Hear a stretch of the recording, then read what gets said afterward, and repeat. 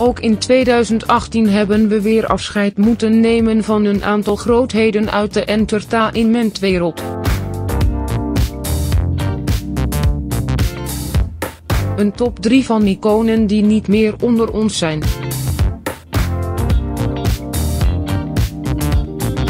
Mies Bouwman.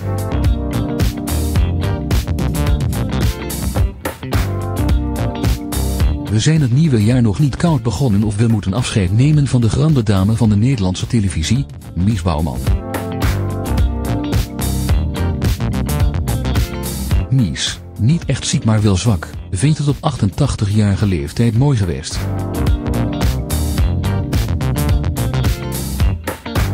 Ze overlijdt op 26 februari in Elst, in bijzijn van haar familie. Mies is eigenlijk al een poosje klaar met het leven. Na het overlijden van haar man Leen Timp in 2013, haar steun en toeverlaat, vindt ze alleen doorgaan een behoorlijke beproeving, zo vertelt Mies in diverse interviews. Ze kan van bovenop haar wolk in ieder geval met trots terugkijken op een glansrijke carrière. De presentatrice, begonnen als omroepster bij de Kro, verovert de harten van de televisiekijker met programma's als een van de acht, in de hoofdrol, de intocht van Sinterklaas die ze 25 jaar op zich neemt, en natuurlijk de eerste grote liefdadigheidsactie op tv, Open het Dorp.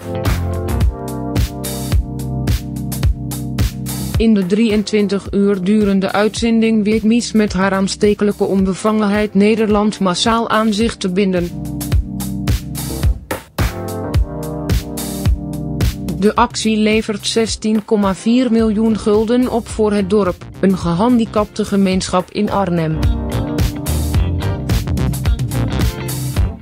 Een astronomisch bedrag in die tijd.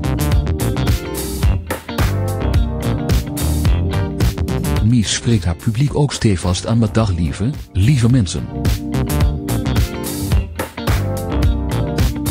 Het blijft haar handelsmerk.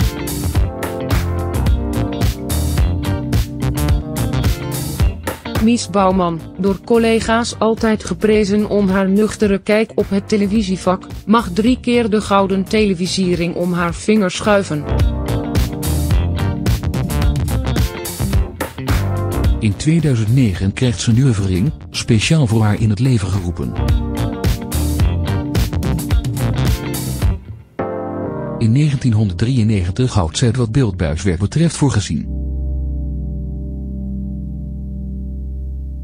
In de jaren erna zit ze nog wel eens aan tafel in de wereld draait door, schrijft ze columns en schudt ze twee kinderboeken uit haar mouw.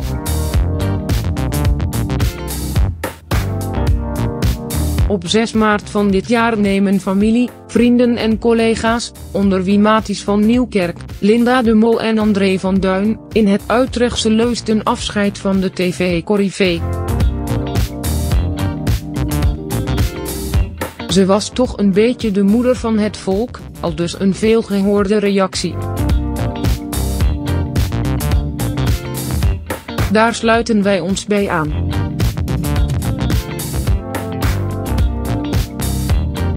Dag lieve, lieve mis.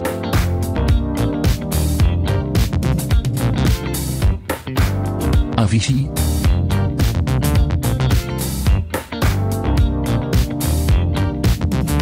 In april trekt een schokgolf door de muziekwereld als top-dj Avicii plotseling overlijdt. De 28-jarige Zweed, geboren als Tim Bergling, heeft de hand aan zichzelf geslagen. Een tragisch einde aan een alleen van tragisch bestaan als een van de populairste DJ's van zijn generatie.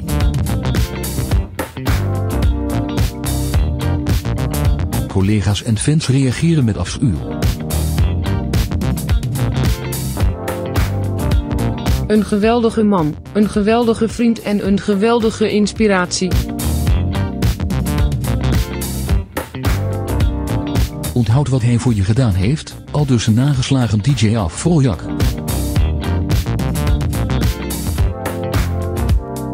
Ook Hardwell kan het niet geloven. Bedankt dat je zo'n inspiratie was. Ik hoop dat je nu op een betere plek bent.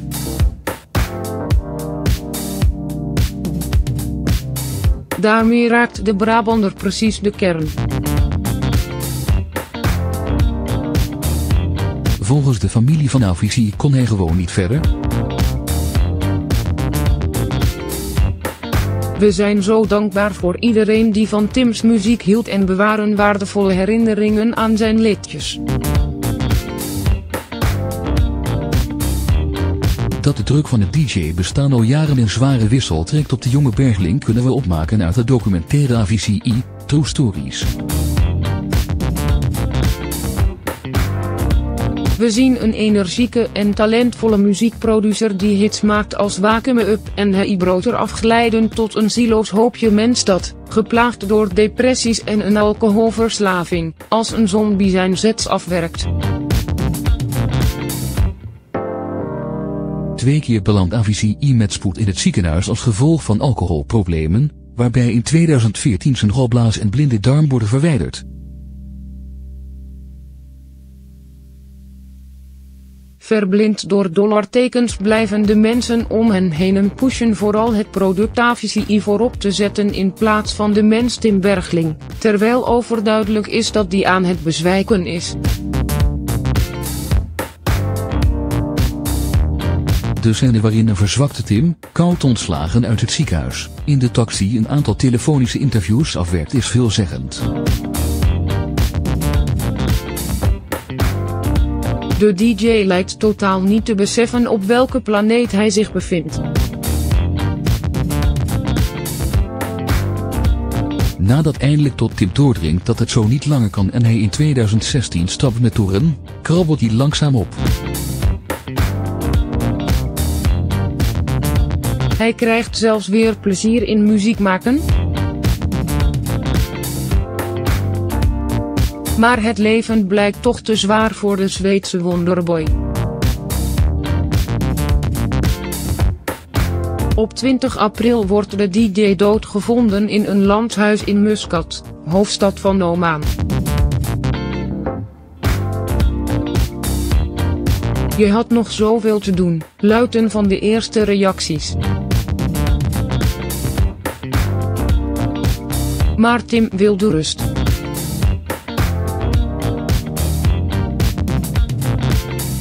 Die rust heeft hij hopelijk gevonden.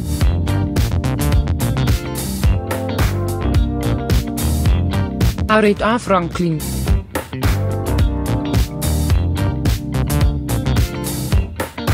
Dit jaar verliezen we ook legende Aretha Franklin. De zangeres lijdt al enige tijd aan alvleesklierkanker.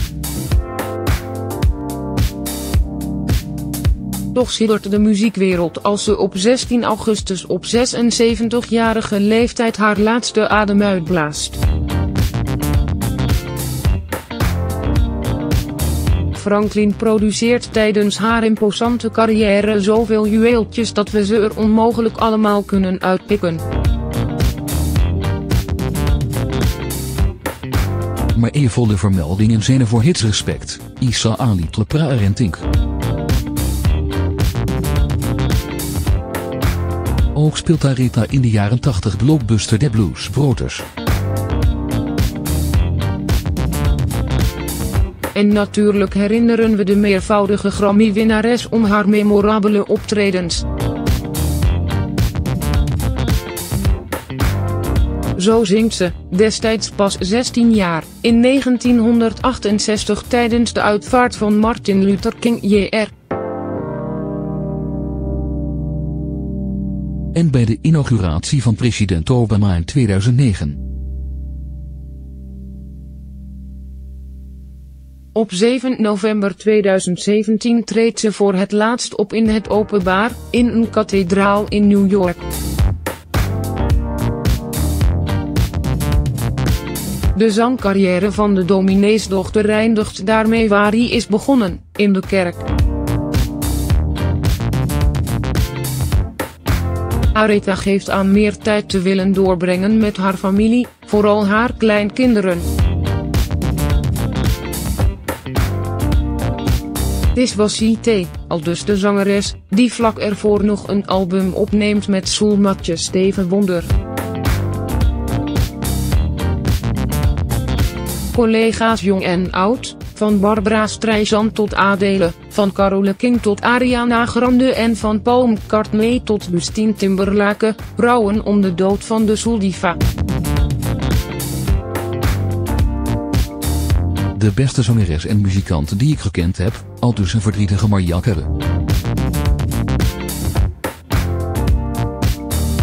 De kracht van je stem in de muziek en in de burgerrechten hebben voor mij en anderen een deur geopend.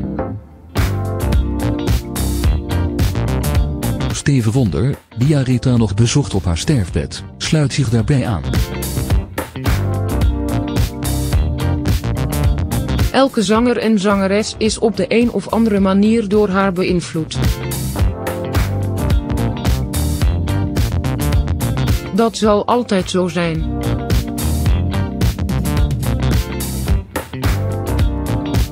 Zij is onvergetelijk.